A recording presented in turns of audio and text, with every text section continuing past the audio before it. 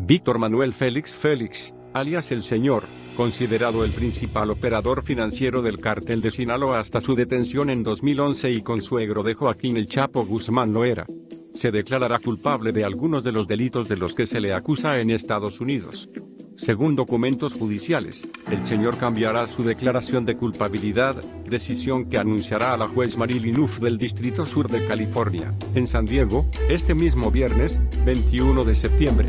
Un día antes, el jueves 20 de septiembre, el Chapo comparecerá ante la Corte de Brooklyn, en la que será una de las últimas audiencias judiciales previas a que inicie su juicio a principios de noviembre.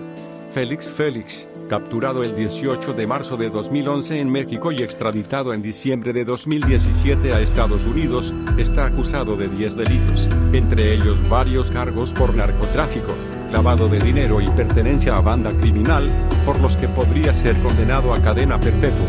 A su llegada a California se declaró no culpable de todos los cargos, dando inicio al proceso de negociación prejuicio entre sus abogados y la fiscalía. Si todo procede como sería previsible, Félix Félix se declarará culpable de alguno o varios de los delitos. Eso daría a entender que ha llegado a un acuerdo con la Fiscalía para aceptar las condenas correspondientes, e incluso buscaría rebajar algunas de las penas.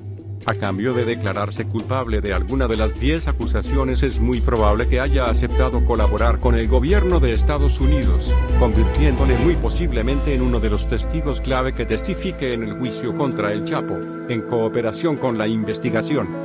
El Universal trató de ponerse en contacto con Guadalupe Valencia, abogado de Félix Félix, sin obtener respuesta inmediata. Más información en el blog del narco.com.